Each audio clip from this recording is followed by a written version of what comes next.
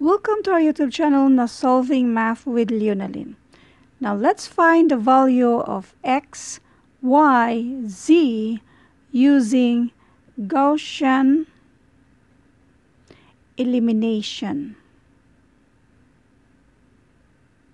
Pero bago ang lahat, para sa mga first time pa sa channel ko, ito yung FB natin na wag na kayong mag-PM dyan kasi tambak na yun ang mga messages. Kung meron kayong concern, pwede kayong mag-message dito sa free reviewers managed by Leonalyn. Pero kung naghahanap kayo ng mga libreng printable na reviewers, punta na lang kayo dito direkta sa files sa FB group na to na Philippine Civil Service Review for All. At ito naman yung iba pa mga FB groups na lagi nating tinatambayan. Now, paano ba isolve ito using Gaussian elimination? Ang focus lang talaga natin dito ay yung mga coefficient nila. So, dito muna tayo sa unang row. x plus y plus z equals 6. Lahat ng yan, ang mga coefficient dyan ay 1. Remember, lahat ng mga variables kapag walang nakasulat na mga coefficient, automatic 1 yan siya. Tapos, yung 6 dito natin ilagay. Next, sa second row, we have 2. Tapos yung negative y, that means negative 1, 3 at 9. Next, sa third row, we have negative x, that is negative 1, 2, 2 at 9. Ang pinaka gagawin natin dito ay itong line na to. Lahat ng yan ay gawin nating 1. At itong tatlong ito ay dapat gawin natin silang 0. So, kahit saan ang unahin natin dyan, walang problema. Ngayon, unahin muna natin itong, depende lang sa inyo kung kahit saan dyan. So, unahin natin ito, gusto kong unahin itong negative 1 na magiging 0, at yan ay ipares natin sa row 1. So, therefore, itong row 3 na ito, we will have row 1 plus row 3. Wait. Row 1 plus row 3. So, yung the rest ay kopyahin muna natin. Wait. We have 1, 1, 1, tapos 6, and then 2, negative 1, 3, at saka 9. At ito, yung row 1 natin ay 1 plus negative 1 and that is 0. So 0 ito. Next, 1 pa rin ang nasa row 1. Ito, ipares niya yan. Plus, yung nasa row 3 ay 2. 2 1 plus 2 equals 3. So therefore, this is 3. Next, 1 pa rin yung nasa row 1 plus 2 equals 3. So this is 3. Next, yung nasa row 1 ay 6. So this is 6 plus 9 and this is 15. So kaya 15 yung nandito. Next, ito namang 2 ang gawin nating 0. So therefore, mag-multiply tayo ng negative 2 sa row 1. Diskarte natin ito. Tapos i-add sa row 2 para maging 0 yung 2 natin dyan. So, ganito yan. Yung first at third row ay kopyahin muna natin. 1, 1, 1. Then 6. Yung last, 1, uh, 0, 3, 3, 15. Now, negative 2, i-multiply natin sa row 1 plus sa row 2 and this will give us 0. So this is 0. Next, negative 2, i-multiply natin sa row 1 which is 1 tapos i-add natin sa row 2 which is negative 1 and this will give us negative 3. So this is negative 3. Next, negative 2 times. Sa row 1 ay 1 pa rin yan siya at i-add natin sa row 2 which is 3 and this will give us 1. So this is 1. And then, isa pa, negative 2 times 6 plus yung nasa row 2 which is 9 and this will give us, this is negative 12 plus 9 and this is negative 3. So this is negative 3. At ito naman yung gawin nating 0. So, paano natin yan gawing 0?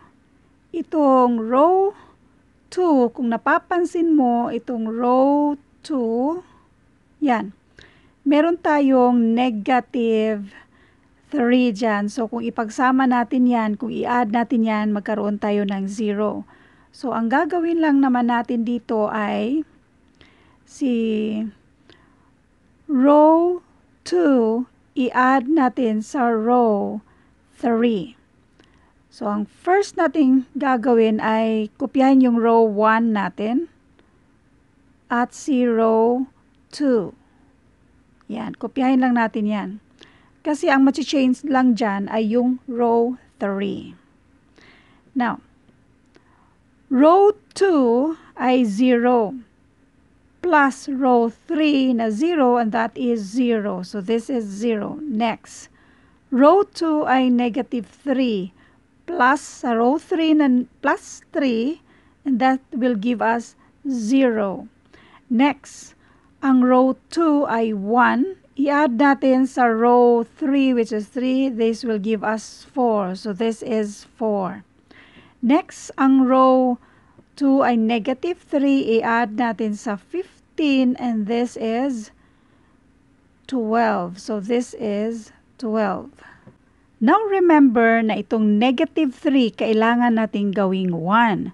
So ang gagawin lang natin ay i-multiply yung buong row na ito ng negative 1 third itong row 2.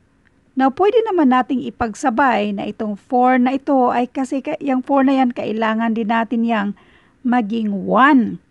So, pwede natin yang i-multiply ng 1 fourth ang buong row 3. So, yung row 1, kopyahin lang natin yung row 1. So, 1, 1, 1 at yung 6. Next. So row 2, 0 times negative 1 third and that is 0 negative 3 times negative 1 third, that is positive 1. 1 times negative 1 third and this is negative 1 third. Negative 3 times negative 1 third that is positive 1. Next dun tayo sa row 3. 0, dalawang 0 yan siya. Kung i-multiply natin yan sa 1 fourth, automatic 0 yan. 4 times 1 fourth and that is 1. 12 times 1 fourth and that is 3. So ngayon meron na tayong 1 at meron na tayong 0 dyan. So ang gagawin na lang natin ay i-plot ito sa ating x, y, z. Remember na itong first line that is x and ito ang y, ito naman yung z. So yung sa x natin, we have 1. So isang x, isang y, so this is plus y plus isa na namang z, so plus z equals 6. Next, 0 tayo sa x. So wala tayong x, we have 1y, this is y. Tapos, negative 1 third. Therefore, this is negative 1 third z equals 1. So, that is 1. Now, yung nasa baba ay dalawang zero yan siya. So, yung z lang ang meron. So, which is z equals 3. So, therefore, meron na tayong value ni z. Now, ito yung gamitin natin para makuha natin yung value ni y. Yung y na hanapin pa natin. And then, minus 1 third, ang value ni z ay 3 equals 1.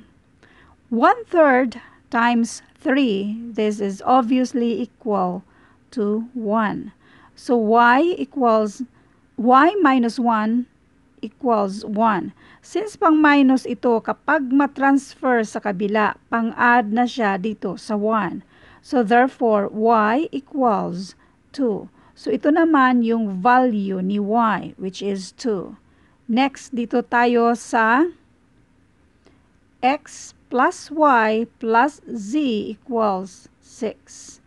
Wala pa tayong value ni x, pero meron na tayong value ni y which is 2 at itong letter z which is 3. So, 2 plus 3, kupihahin muna natin si 6. 2 plus 3, that is equal to 5. Now, para makuha natin yung value ni x, since si 5 ay positive number or pang-add siya sa x, kapag ma-transfer, pang-minus na siya dito sa 6. So, therefore, x equals 6 minus 5 and that is 1.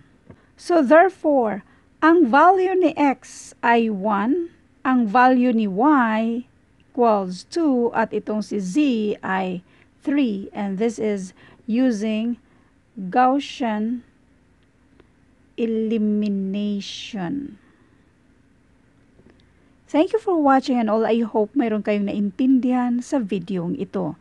Thank you and God bless.